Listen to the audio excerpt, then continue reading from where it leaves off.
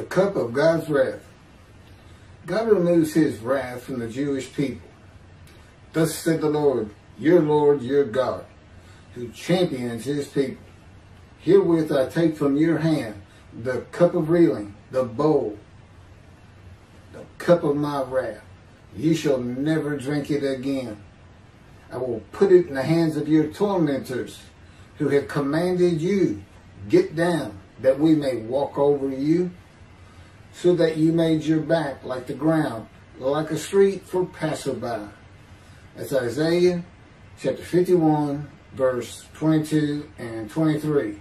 The very next verse, chapter 50, uh, chapter 52, begins the description of the righteous servant, which is completed in the entirety of chapter 53.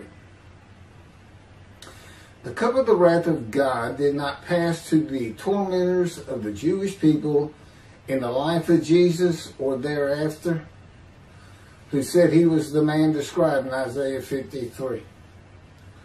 After the death of Jesus came the destruction of Jerusalem and the temple by Rome, the dispersal of the Jewish people throughout the world, Christianity, Muhammad and Islam, the Spanish Inquisition, numerous pogroms, and the Holocaust. And God says, Nevermore shall you be called forsaken, nor shall your land be called desolate. But you shall be called a delight in her, and your land espoused. For the Lord takes delight in you, and your land shall be espoused. Espoused, that can mean to be married, uh, to adopt children. Basically, to adopt or support any cause, belief, or way of life. Uh, synonym, synonyms adopt, embrace, take up, take to, take to one's heart, receive enthusiastically, wholeheartedly, accept, welcome, support. God's saying the world will espouse Israel and they will know that God sanctifies Israel. So all this is for the Roman dispersal. You know, everything from chapter 51 forward to the end of Isaiah, you can find the Roman dispersal in it and these kind of references to the day of the Lord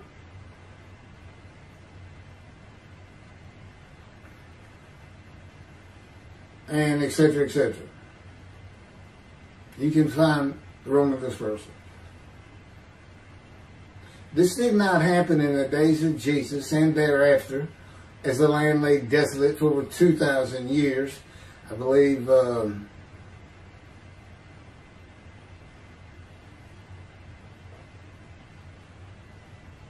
at least 200, uh, 2009 years since the death of Jesus, anyway when that's 40 years later. Well, anyway, it's about 2,000 years since the Jewish revolts will be the best timeline. I, I, suppose the third revolt, but it was the first revolt that they destroyed the temple. And uh, taunts of violence and hateful writings of the Jewish people abounded, such as the infamous The Jews and Their Lies by Martin Luther. The Jewish people have returned to the land of Israel from the Roman dispersal and by their toil have made the desolate land bloom as God said it would in a time to come. The cup of God's wrathing and wrath has passed to the tormentors of the Jewish people. Those who told the Jewish people to get down and walked all over them. In general, that's to all Gentiles of the world. But that's Christianity in particular who took their book and told them they don't know how to read it. And that is prophetic of their false God. And tried to get the Jewish people to convert to their false God.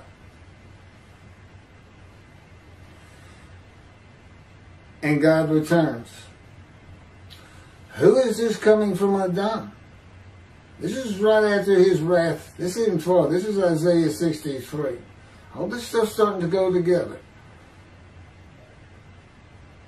And of course culminating Malachi 3. I mean, really, the uh, the day of the Lord, it, it, starts with Isaiah. In Isaiah 53, we have the description.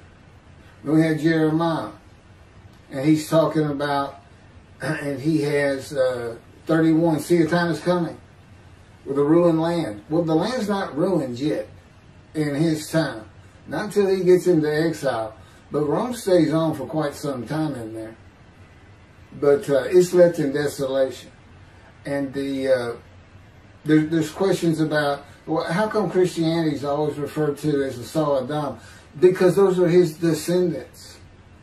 The Edomites, and, and they're uh, thought to be Arab, the Gentiles, and the Saul intermarried right off the bat. People from Edom, he had Gentile wives. So uh, his lineal descendants are basically considered Gentiles, Edomites. And they actually, uh, Edom began east of the River Jordan, near the Sinai Peninsula and the King's Highway. Uh, and they actually became, they were a country below Judah, these Edomites. And um, they became associated with Rome. And they even they even assisted Rome in the revolts and are thought to have taken part in the destruction of the first temple. But in the Talmud, they become they become associated Edom Asar not only with Rome, but to Rome Christianity and uh, Christianity in general, Gentiles in general, Edom Asar. Edom was Gentile territory. It was where it, it would lie in Jordan today. Its its uh, main city was Bozrah, as Jerusalem is to Israel. And the king of Edom, who would have been a descendant of Esau, and Esau is the twin brother of Jacob, who becomes and is renamed uh, by God to be Israel. So and they were always antagonists because Esau was considered the older brother. And apparently Jacob, uh, the trickster, tricked him into uh, giving him uh, his firstborn rights, you know, with a big bowl of soup. He, he was a big hunter. He was, he was, like a man's man, you know, and uh, not much of a thinker.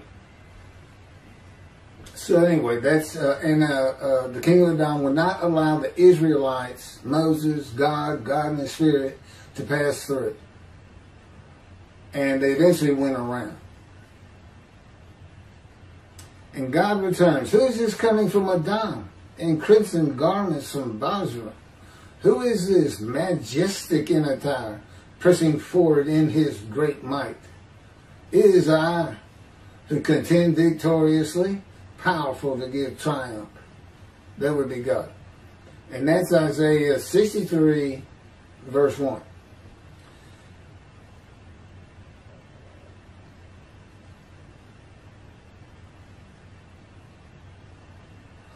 The overwhelming majority of the homilies about Edom speak explicitly of Rome. I'm reading from what God had me put into the book, Isaiah 53 in the day of the Lord it was stated that Rome was founded by the children of Esau. That's just how they looked at it. The Hebrew word Edom means red. And the Hebrew Bible relates it to the name of its founder.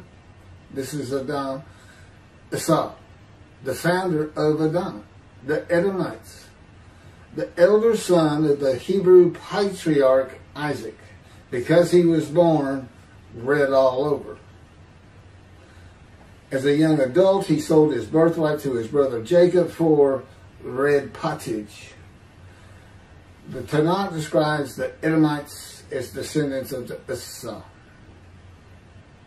And these identifications occurred in the Midrashim.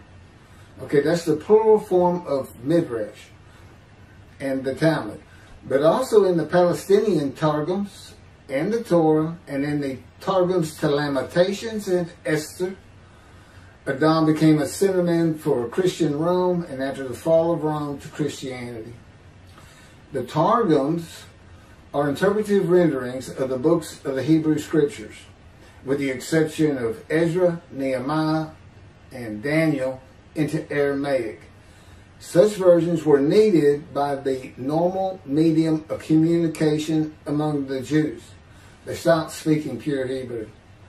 In synagogue services, the readings of the scriptures was followed by a translation into the Aramaic vernacular, the street talk of the populace.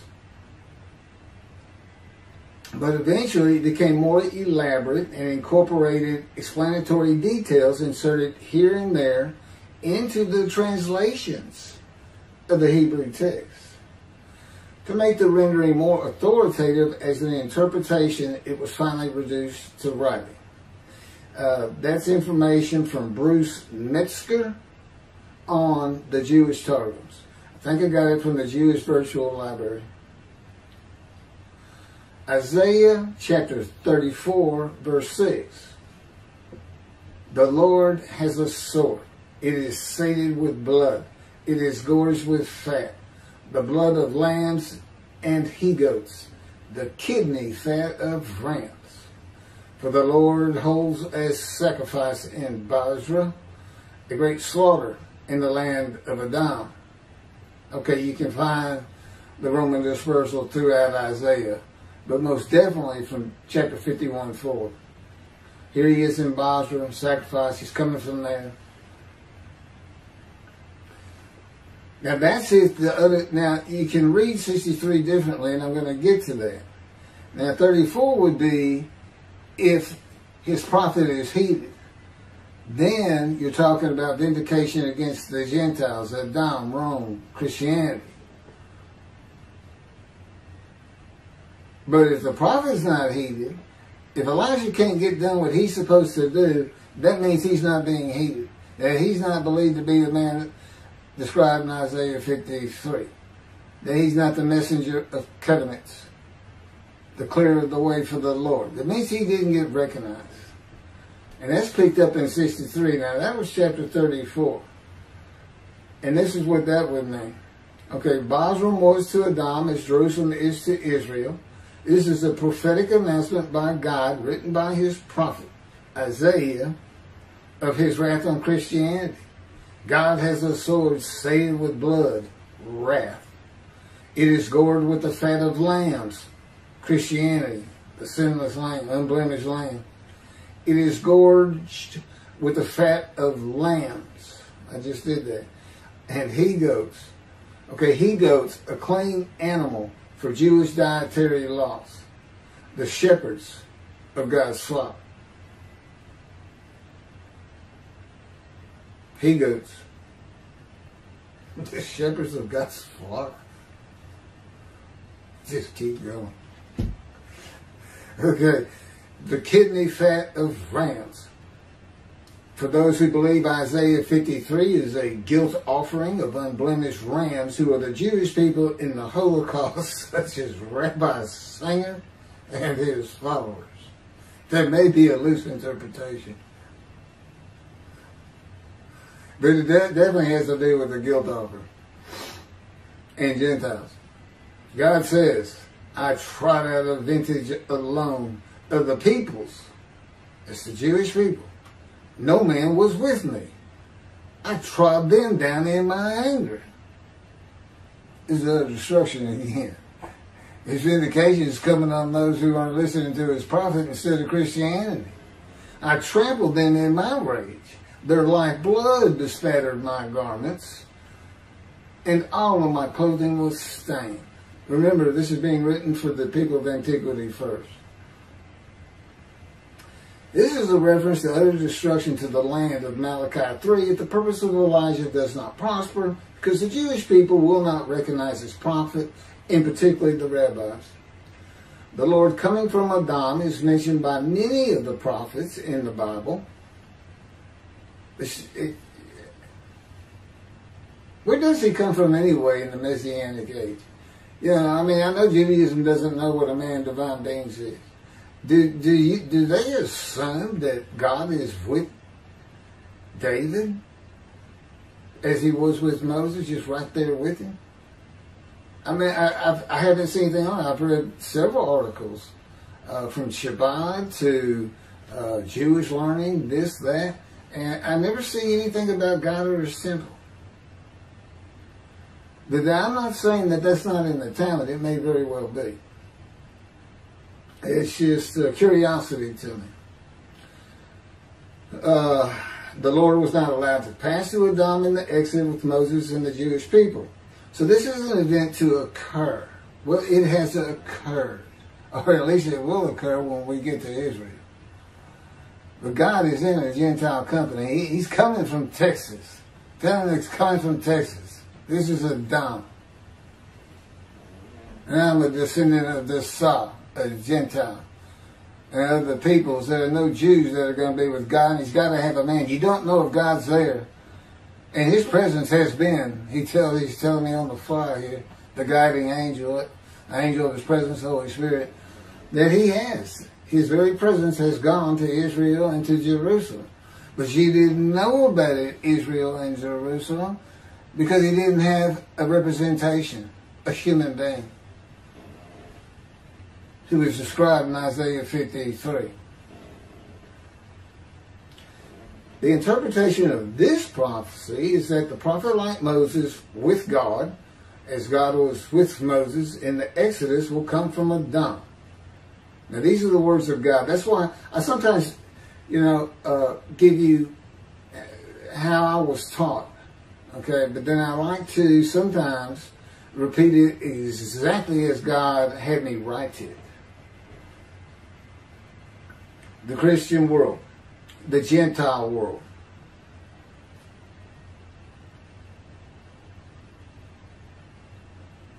So, okay, I just covered all that. And the Gentile is God's righteous servant who God specifically describes for the day of the Lord. He is God's visible representation and speaker and writer of his words as Moses was. He is the prophet like Moses. God says he will put his words in the mouth and he will speak to the Jewish people all that God commands him. Deuteronomy chapter 15 verse 18. I, this is God speaking, I will raise up a prophet for them from among their own people. That would be the Israelites, like yourself. He's talking to Moses. I will put my words in his mouth, and he will speak to them all that I command him. That's verse 18.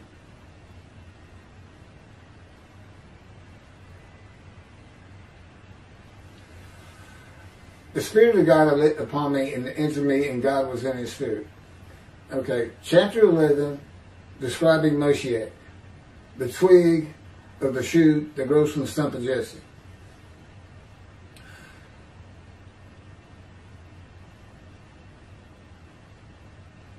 Okay, King David was an Israelite.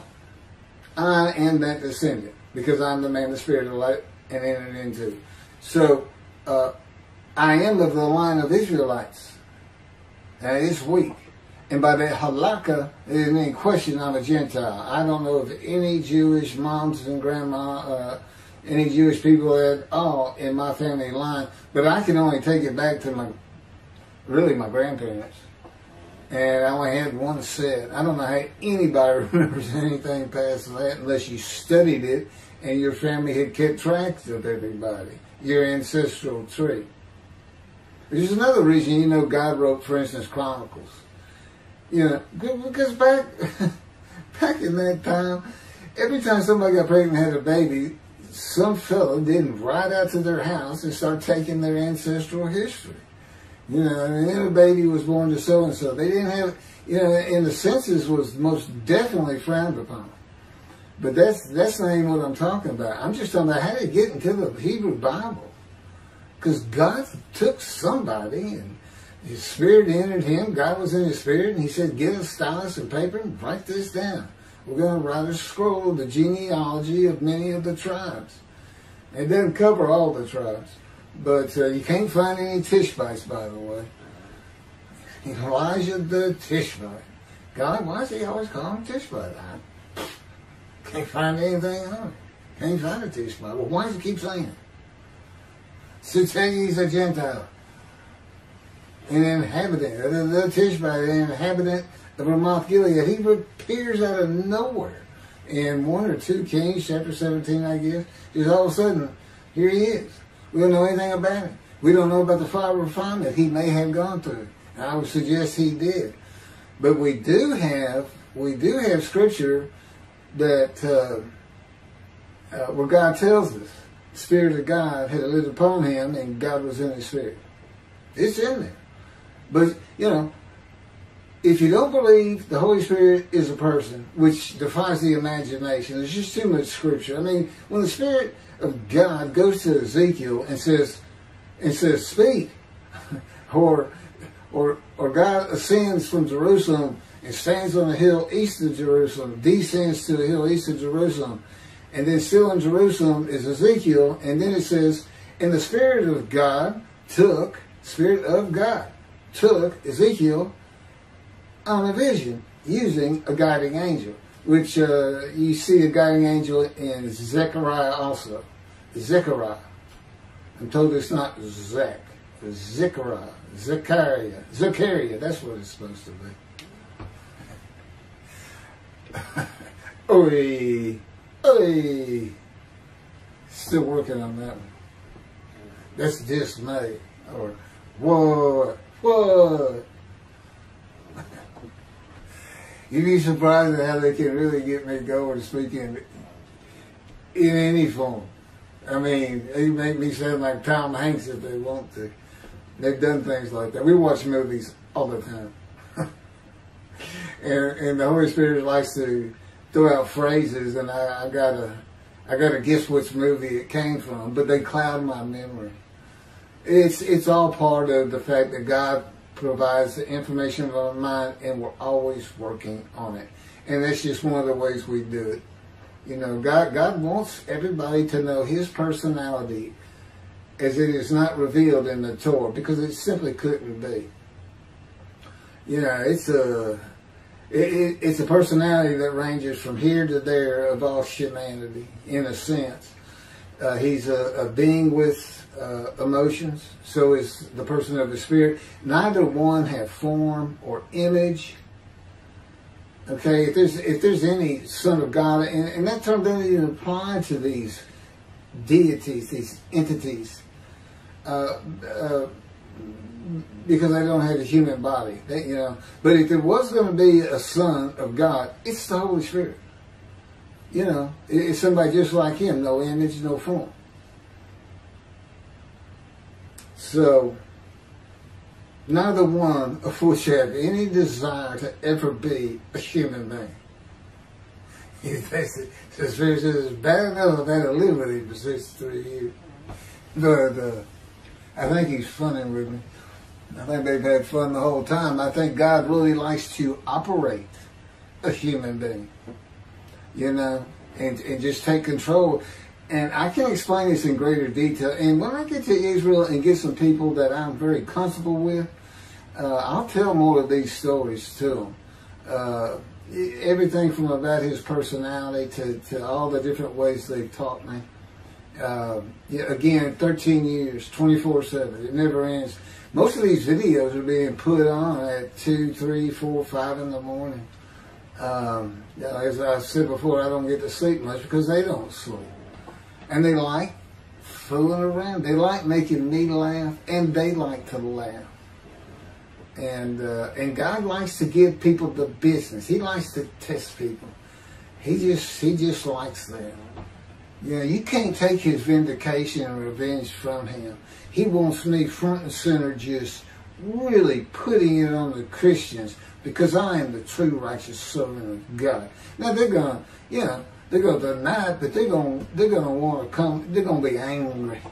And there's nothing worse than being angry and you can't do anything about it because because God would never put me in harm's way. I, you know, I'm sure the Muslim eventually, especially with me talking about taking the golden dome and throwing a piece of dynamite in it with a camera crew after we removed them from God's mount. And so they're going to hear talk like that, and they're going to say, "That's it, jihad, jihad. This man has to die. Every every Muslim out there, if you see him killing, this and that. I don't worry about that anymore. The man, the man." That God's with me. He's in me. He's around me. He knows everything going on. If they start plotting to kill me, he's going to know who's doing the plotting and God rest their souls, as they would say. And does he do those kind of things? He tells me no. I don't believe him personally. I know him too well. He's too mean. Me? That's what I said.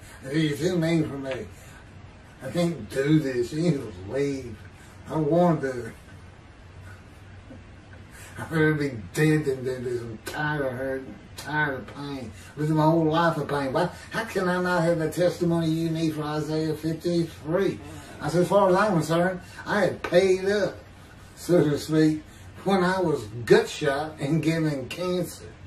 I said, that's enough. He said, now I got to change your emotions. That's how I do it. I'm God. And he says that all the time. Keith, I am God. I think I've told this story once before. They let me tell this one. By and large, I don't I don't talk about what all he, he has done to me. But let me hear this one. Uh, so we we've been arguing, and this is in my early days when I really was belligerent, and and he belligerent. My I was bitter, and my spirit was furious.